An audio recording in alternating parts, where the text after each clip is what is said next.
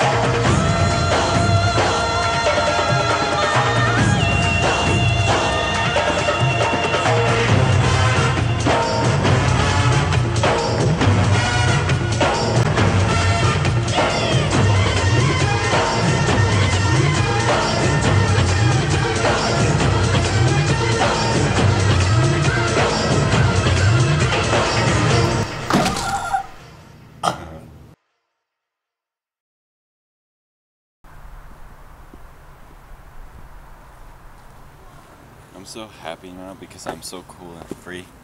I feel like I'm open to any religion, no matter what. How could life get any better?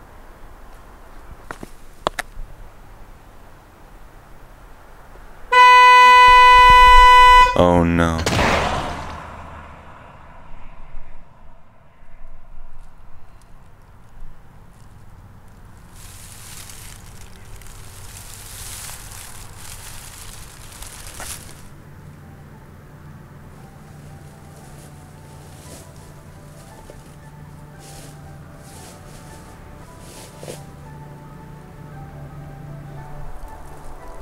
Going on here?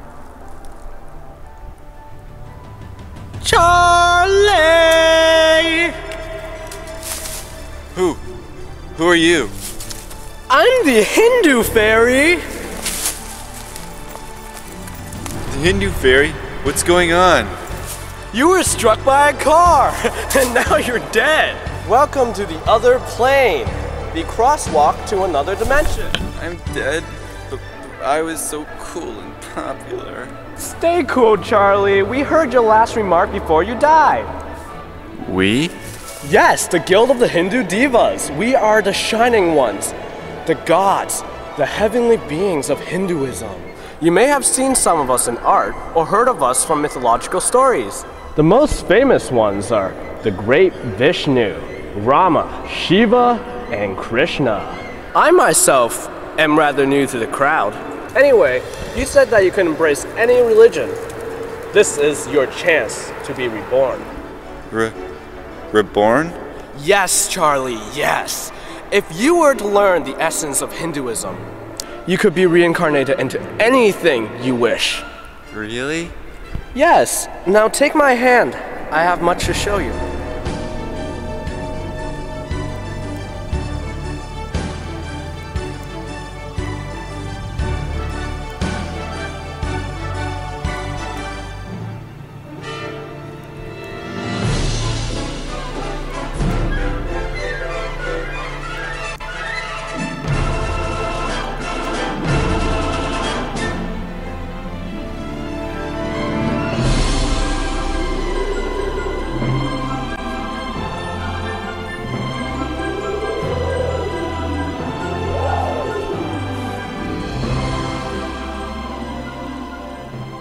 We going, Hindu fairy? It's all in good time, my child.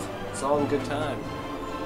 It's time for you to know what Hinduism is all about. This is so awesome. I can't wait to be reincarnated. Who isn't? Reincarnation is a big part of Hinduism. Alongside that is Dharma, Moksha, Samsara, Yoga, and Karma. They all have to do with ethics, birth, life, death, actions, liberations, and practices. So I hope you've been good to the people around you, or else you'd be reborn as a termite. As you might know, Hindu is actually the main religion of India, and it's the third largest religion in the world. It's actually referred to as the eternal law. That's pretty cool. It sure is. Hinduism is generally a very cool religion because it includes many other religions. There's pantheism, monotheism, polytheism, and atheism. That sounds like my kind of religion. Who founded it? No one, Charlie. There's no founders of Hinduism. Dumbass. It might be good for you to know that the concept of God is very, very complicated in Hinduism. I doubt you'll be able to figure it out.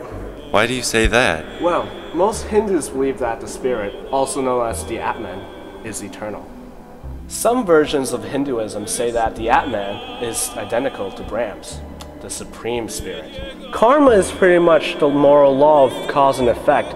It brings together the notions of free will and destiny. The cycle of action, reaction, birth, death, and rebirth is a continuum known as samsara. After you are reincarnated a few times, your Atman will eventually seek unity with Brahm. What's the point of all this? Why should I care? What's the goal of Hindu life? I thought it was being fairly obvious, Charlie. The goal is to realize your relationship with God, perfect unselfishness, and to not care about worldly desires. Wow. So when you follow Hinduism, you need to look deep inside yourself, find unity with the gods, and not care about the temptations of the world? So that's how karma works?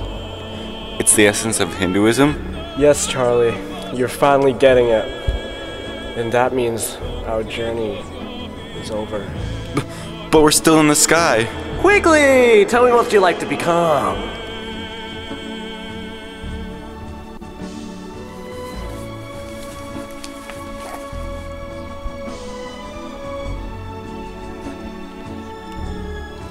I hope you're ready, Charlie, Ready for what? for the rebirthing drop. Bye, Charlie!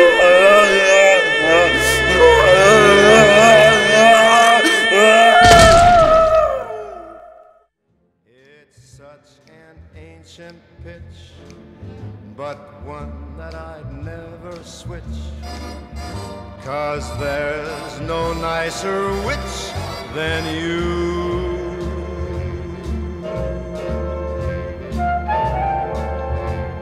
Look who I am now. I'm a free spirited feline. But you can call me Cool Cat Charlie.